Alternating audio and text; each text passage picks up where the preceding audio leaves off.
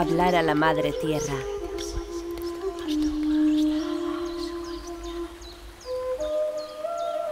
La Tierra era muy joven entonces. Todo parecía nuevo y era hermoso. Los árboles, los ríos, las rocas, hasta el mismo azul del cielo parecía recién estrenado. Las mujeres, los hombres y los niños vivieron en cuevas primero. Después en chozas. Y todo giraba en torno a la madre naturaleza. La estación de las lluvias y la época seca marcaban los ciclos de la vida, los nacimientos y los campos. Si las nubes eran generosas y el sol brillaba muchos días, el año sería tranquilo, con grandes cosechas y animales de sobra para comer. Sin embargo, ese año, Abril le parecía que todo iba mal para su pueblo. El verano anterior había sido demasiado largo y el otoño muy seco. Hubo noches con heladas repentinas y vientos fuertes que tiraron al suelo las pequeñas frutas de los árboles antes de que maduraran. Muchos animales huyeron y había menos caza que nunca.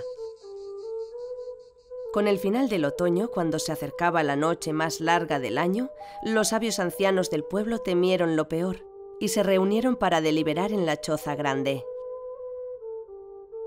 Tardan muchísimo en salir, le susurró Bril a su amiga Nua. Es que están hablando de asuntos muy importantes. En efecto, en el interior de la choza grande los ancianos discutían, se mesaban las barbas y daban vueltas alrededor del fuego. No, no y no. No puede ser. tiene razón, mudarnos ahora sería una locura. El frío está a punto de llegar. Pero... intervino el tercer anciano. También es muy peligroso que nos quedemos aquí. Apenas hay comida en la zona, debemos buscar un lugar mejor. Quizá nos arriesguemos para nada, tal vez haya menos que comer aún al otro lado del valle. Así fue pasando la mañana entera. Nua y Bril rondaban la choza grande tratando de enterarse de lo que se discutía dentro. ¡Eh! ¡Fuera! les echaban de vez en cuando. Estos no son asuntos para niños pero ellos volvían una y otra vez y escuchaban exclamaciones, frases desilvanadas y alguna palabra suelta, y ninguna de ellas les tranquilizaba. Los ancianos están muy preocupados, murmuró Nua. Dentro, el debate seguía. No queda más remedio que buscar la manera de hacerlo. Así es, debemos hablar a la Madre Tierra, al viento y a las estrellas. Ellas nos protegerán. Tenemos que expulsar todo lo malo que haya entre nosotros. El egoísmo, la rabia, la envidia. Convocar a las nubes y al sol. Espantar a los fríos. Dar la bienvenida a la luz y a la vida. Sí, hay que hablar con los jóvenes. Eso es, se lo pediremos a los jóvenes.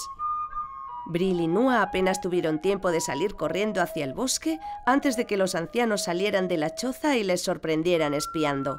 Nadie quería que los ancianos le regañaran. Volvieron al atardecer, deseando calentarse junto al fuego y comer un poco. Al llegar, encontraron algo de revuelo en la aldea, algunos susurros y gente entrando y saliendo de la choza grande. Hablaban con los ancianos con aire tan reservado que daba la impresión de que algunos de ellos estaban en un gran secreto. Por eso, Nua y Bril, muy prudentes, no quisieron preguntar.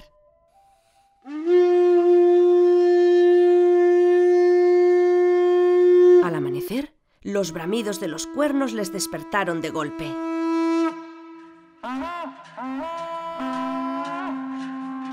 Brill se incorporó sobresaltado. No sabía cuántos eran ni de dónde llegaban exactamente. Parecían rodear la aldea entera. Salió lo más rápido que pudo y encontró a Nua que parecía tan sorprendida como él y miraba a su alrededor con los ojos abiertos como lunas llenas. ¡Oh, Nua, pero qué pasa! Ay, no lo sé, me acabo de despertar. Pronto, el resto del pueblo se reunió con ellos. De repente escucharon carreras, pisadas muy fuertes que llegaban hacia ellos de todas partes, y sonidos de cencerros, muchos, muchísimos, clan, clan, clan, y vuelta a sonar los cuernos. Bril dio un paso atrás. Criaturas extrañas llegaban corriendo y gritando. Tenían los rostros cubiertos con pieles y máscaras de madera.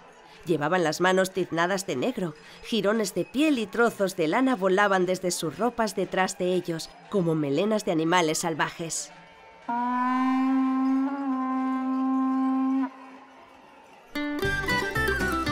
Nua le cogió la mano. No te asustes, Brill, son los jóvenes. Ninguno parecía serlo, pero Nua lo decía y Brill confiaba en ella.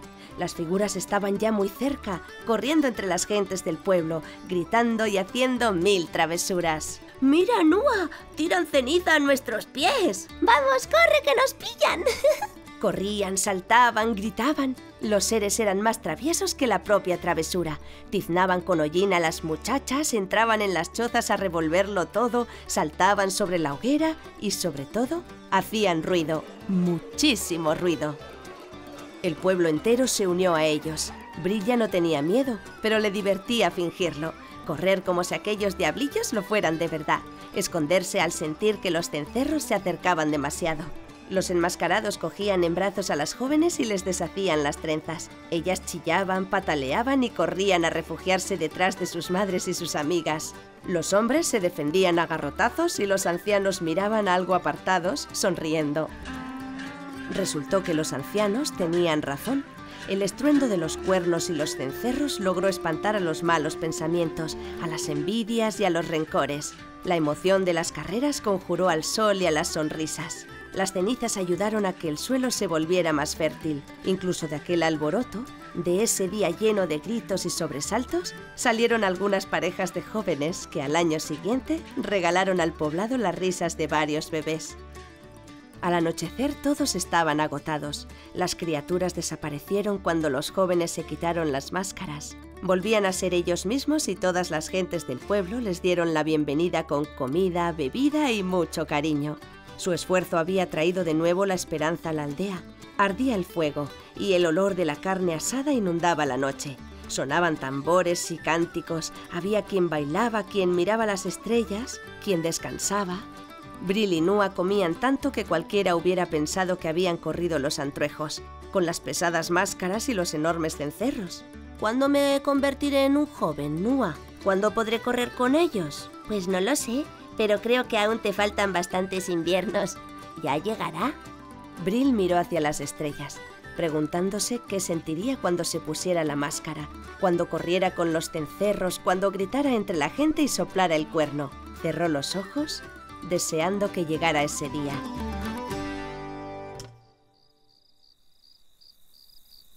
La Tierra era muy joven entonces. Todo parecía nuevo y era hermoso. Las sonrisas, las charlas, la esperanza, hasta el mismo color negro de la noche, parecía recién estrenado.